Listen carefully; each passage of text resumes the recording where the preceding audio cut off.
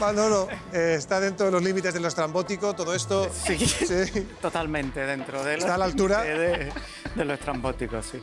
El, el mundo de. Una cosa que me parece muy estrambótica es el mundo este de momias, cuerpos incorruptos, reliquias. Me parece bastante bizarro, ¿no? En ese sentido de cosas que uno no se, no se espera encontrar, ¿no? Y, y dentro de, de eso, ¿no? Eh, hay un- uno de los sitios que más me ha impresionado eh, fue Guanajuato, el Museo de las Momias de Guanajuato, que eh, eh, Guanajuato es zona de producción de plata en, en México y el cementerio está en un sitio que hay un contenido alto de, no sé si era nitrato de plata o le lo daba que fuera, y además le daba el sol a la tapia. Entonces, los cuerpos que estaban en esa zona no se corrompían, sino que se secaban. Y, y además, mm, verás tú, estaba- Que- mejoras, la- mejoras, ¿no? Hay gente por la calle que tiene peor cara que las momias de Guanajuato.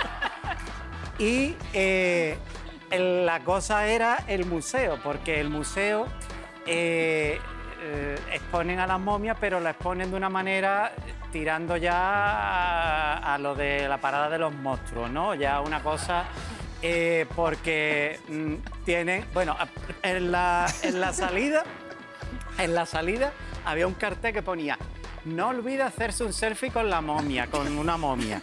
Y después dentro del museo estaba la manquita, la cantinfla, no sé qué, le ponían nombre a, la- las momias. Y había una sala de los horrores, ¿no? Que en la sala de los horrores ya era mm, disfrazando a las momias, en fin.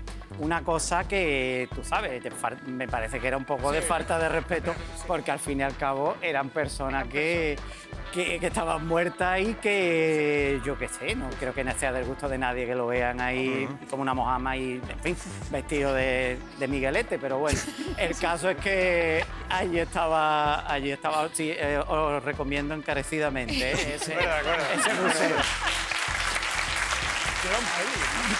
Sí, sí, sí, además Tiene- hay pelis. hay películas, hay películas de, digamos que es de consumo patrio Interno. en México, ¿no? Pero eh, Capulina contra las Capulina contra las Capulina es como el Bud Spencer eh, mexicano y ahora salían las momias, que eran las momias como si nos ponemos una sábana y vamos corriendo aquí, unas tortas que les pegaba a las momias, ¡pinga! y cada vez que, que salía, en fin, todo muy estrambótico. Todo muy correcto.